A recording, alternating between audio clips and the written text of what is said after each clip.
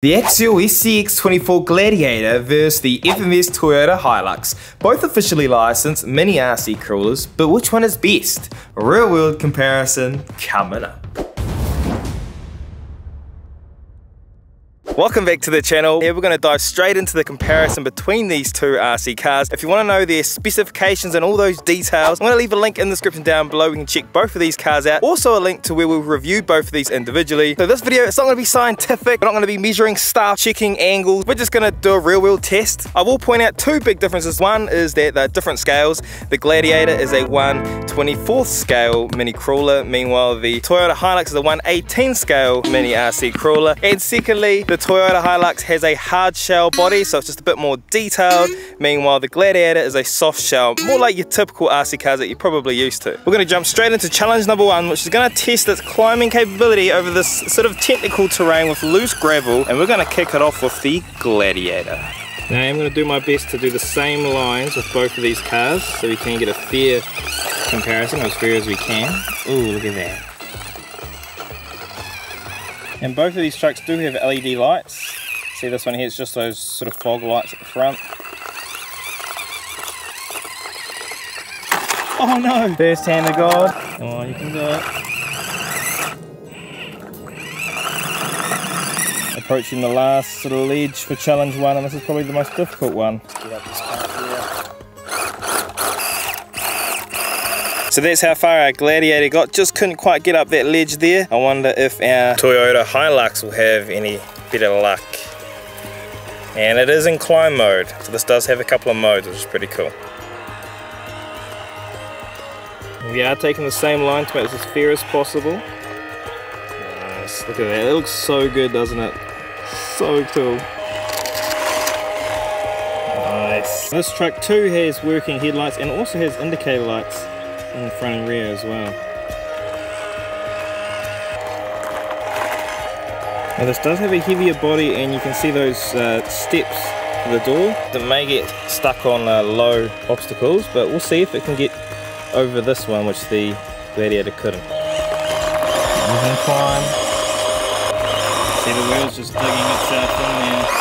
Look at that, there's full throttle. The Gladiator did manage to get a little bit higher, it got up to around here. Well, it's time to move on to challenge number two. Man, check out the view up here. For challenge number two, we're gonna see how they both perform going over these stones and rocks. Then we're gonna do a bit of a climb on grass and see which one can do it the best. Now we're gonna start to get a little bit incline here.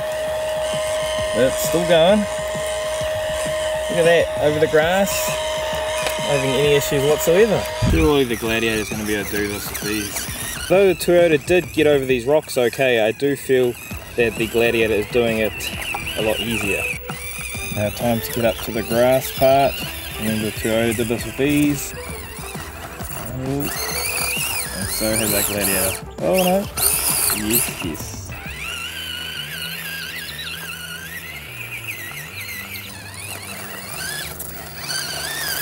Oh no. Hand of God number two.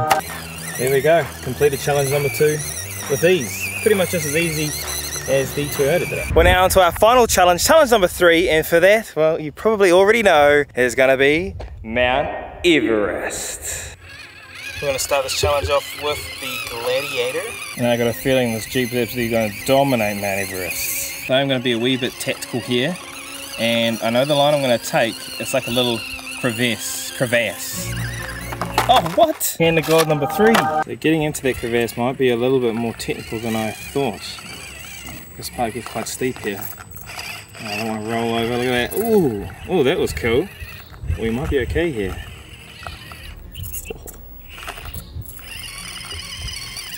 Beauty. Look at that. Oh, we're okay. That is so cool. Look at it go.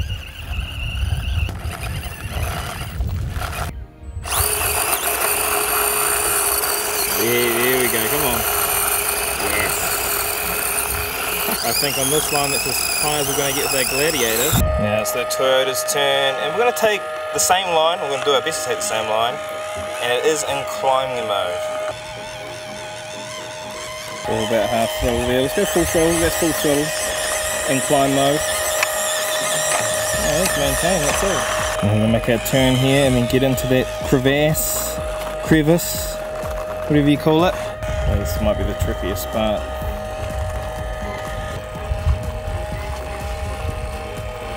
Oh, Oh done. Surprised I actually made up that part. And that part too. Oh, sweet. Now this part starts to get quite steep. This is the exact spot the Gladiator couldn't get up it. Oh, but it did it. The Toyota got further than the SCX24. Oh. Now that little step is uh, letting it down there. If I took that off, I reckon I might be able to Oh, oh, oh. oh yes.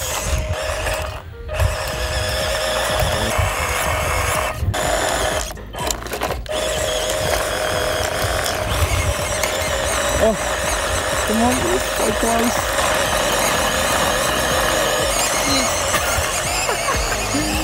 oh, yes. The Toyota conquered Mount Everest and there is our SCX24 and that surprises me. It sure does because I honestly thought the SCX24 was going to completely destroy the FMS but we'll get to my thoughts in a second. Before we do, first don't forget to give this video a big like, subscribe and hit the bell so don't miss out on anything RC and a huge thank you to all our Kiwi Club members that continues to support us even though we post about one video every 8 or 10 days right now. I know it's a bit slow but don't worry I got 6 days, 6 days left until I have freedom and I'll be returning back to New Zealand I cannot wait. It's gonna be amazing. We're gonna go on holiday for a while, so probably the videos will reduce from like one every 10 days and maybe like one every 15 days. But then come the end of June, we'll be back to uploading about two or three times a week, so don't worry. But between now and June, expect around one a week. But here's my two cents for what it's worth. With the SCX24, I did feel like it handled the rocks and stones a little bit better. It felt like it had a better power to weight ratio. Just felt like it had a bit more punch, a bit more speed and acceleration. But I did find that it tipped over a lot easier,